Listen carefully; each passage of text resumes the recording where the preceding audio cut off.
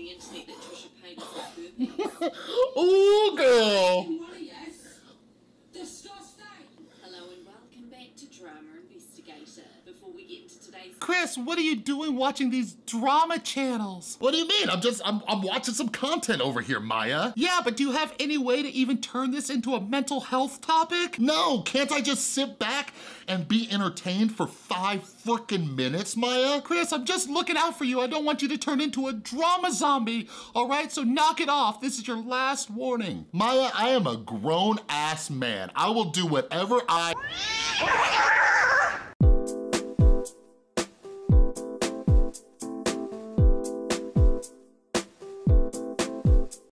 What's up, everybody? This is Chris from The Rewired Soul, where we talk about the problem, but focus on the solution. And if you're new to my channel, my channel is about drama, but not about drama because we only talk about drama if there's something that we can learn from it to see what we can do to improve our own mental and emotional well-being.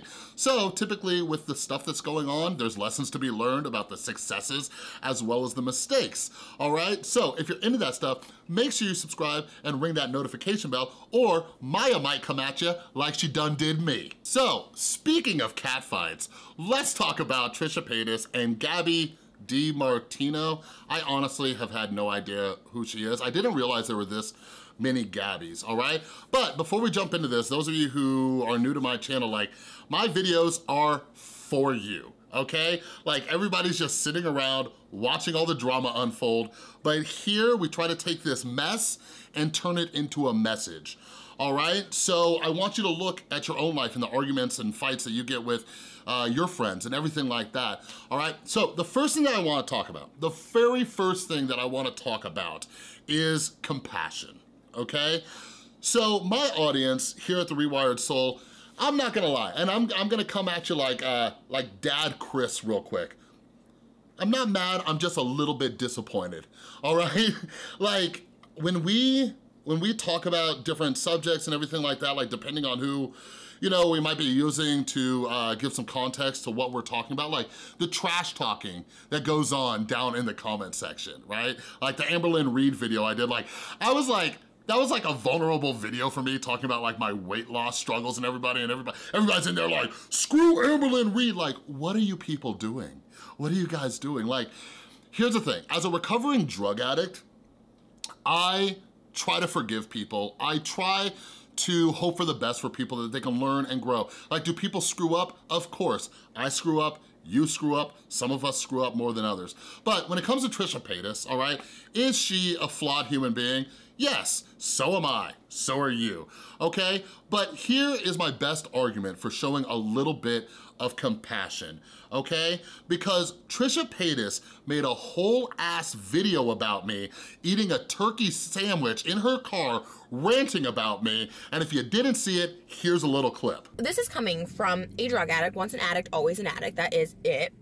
Coming from a drug addict who has a child, who's no longer with that person. I don't know the thing, but it's like, you have a child, you're not married to that mom, you have another girlfriend that's, do you know what I'm saying? And he acts like his is so perfect. And like, just looking at him, you know, he, he does judgments just by looking at our videos and just by looking at his videos, not his physical appearance, just like looking at his videos and looking at him. And the way, it's like, he looks tired, he looks worn out. Like, he acts like he's such an expert. Because if I can have some compassion and forgiveness for Trisha Paytas, you can chill the hell out a little bit too. But also think about in the rest of your life, right? Like, are you holding on to resentments? Are you not forgiving other people? Like, I was taught a very long time ago, like, no matter how passionate I get or, you know, when I get, uh, you know, uh, upset about certain things, like, I don't hold on to anger, okay? Because I was taught a very long time ago, holding on to resentments is like drinking poison and hoping the other person dies. It does absolutely nothing for us, all right? But anyways, in this video, we're gonna be talking about borderline personality disorder, dealing with people who have borderline personality disorder, because I swear to God, like, I watch all this stuff go down, and Trisha Paytas has publicly stated multiple times that she has borderline personality disorder. And this does not mean that she gets a pass. But if you understand BPD, you understand a little bit about what's going on. But the first thing that I wanna talk about is this tweet from Gabi DeMartino. You wanna talk about a mean girl? Trish did manipulate me into tweeting my apology because she knew I would do anything to get her to still like me. And while she's texting me everything's fine, she's continuing online because I guess this is what she does and likes. Like listen, I have no idea how old Gabi DeMartino is, but she's verified on Twitter. I, I'm guessing she's 18 plus, like, Gabi DeMartino is a grown-ass woman, all right? But again, this is for you, okay? So the other day, I put up a poll on my community tab and said, how many of you struggle with standing up for yourself? All right? It was over 70%. I think the last time I checked it, it was 73 or 75%. 75 or 73%, something around there, of people saying that they have problems standing up for themselves. Listen, I empathize with you. I used to be a people pleaser. I used to let people walk all over me and everything like that. But guess what?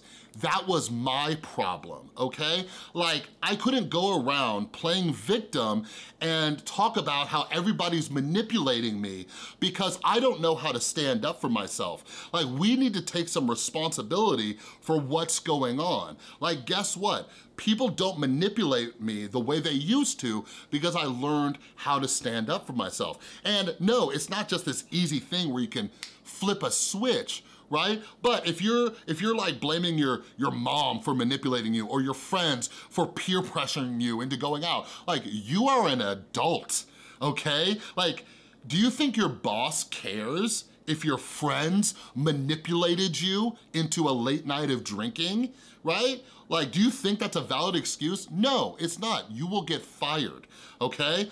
So my suggestion is start working on this. Start understanding why you have a problem standing up for yourself, right? Start understanding why you have a problem saying no, okay?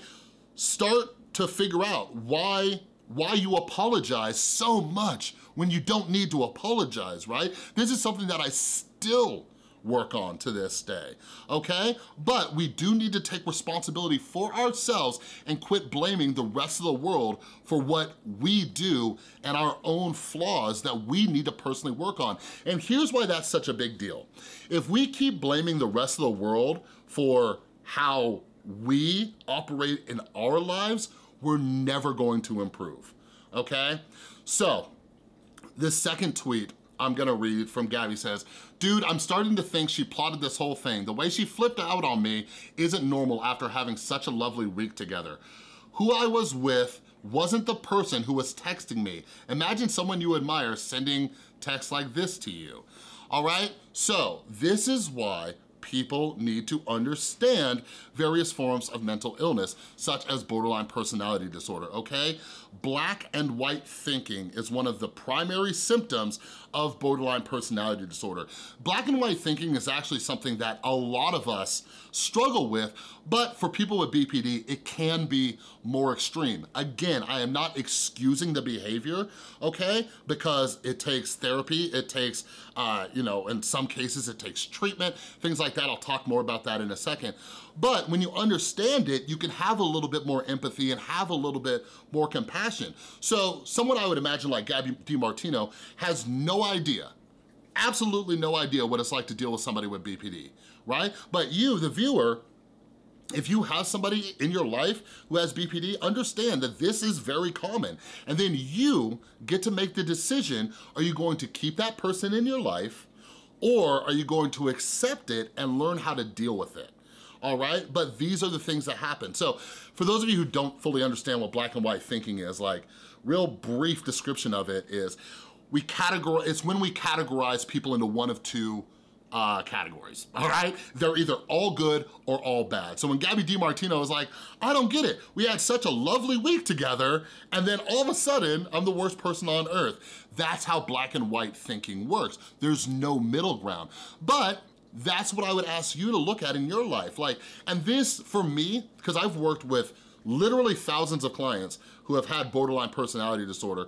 And the way I'm able to empathize with people who have black and white thinking is to realize that I can have those tendencies too. I just had my therapy appointment yesterday and she even brought up when I was uh, talking about some stuff going on in my life, she's like, Chris, like that sounds like black and white thinking. I'm like, oh dang girl. So you don't need BPD to have instances of black and white thinking, but this might help you empathize with people in your life who have borderline disorder. But like I said, this is not a free pass, okay? Like, I, I know the different mental health issues that I struggle with, right? There's my addiction, there's my depression, there's my anxiety, you know, all these other things that I struggle with, right?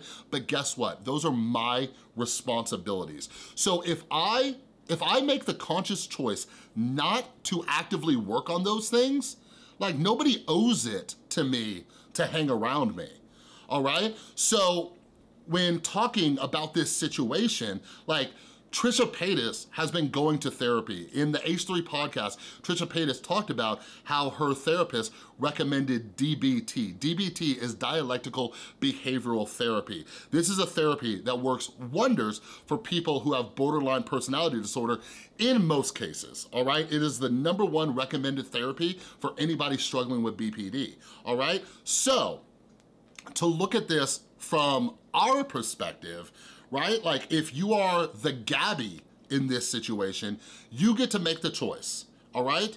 Are you willing to deal with that? Are you willing to put up with it, right? Like, if you meet somebody, if you meet a new friend or, I don't know, maybe you go out on a date and for some reason they tell you about their mental health and they say, I have borderline personality disorder. Like, are you willing to deal with that? Can you deal with that? If not, you might wanna keep it moving, all right?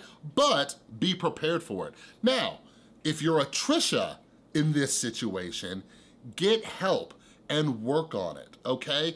Like, we can go through all the therapy we want. We can go to all the therapy groups we want, but unless we are putting these techniques into action, right? Like, we're never gonna improve, okay? Like, for example, like I said, my therapist points out these things to me. And then I have my beautiful girlfriend, Tristan, who can point these things out to me when my thinking gets a little bit screwy, all right? But our mental health is our responsibility. And once again, before I let you go, us being manipulated and us standing up to people is our responsibility. Nobody can set boundaries for us. You see what I mean? All right? But anyways, that's all I got for this video. And if you are in the Shane Dawson palette giveaway, go ahead and retweet this video. Find my tweet of this video, retweet it. You'll get an extra entry into the giveaway, which will be happening this Sunday. All right? But anyways, that's all I got for this video. I gotta go handle Maya now for doing this to my face. But if you like this video, please give it a thumbs up. If you're new, make sure you subscribe and ring that notification bell. And a huge, huge thank you to everybody supporting the channel over on Patreon, as well as everybody out there who supports the channel in other ways, like buying my books, or you buy merch like this shirt I have right here with my little demon cat on it. All right, thanks again for watching. I'll see you next time.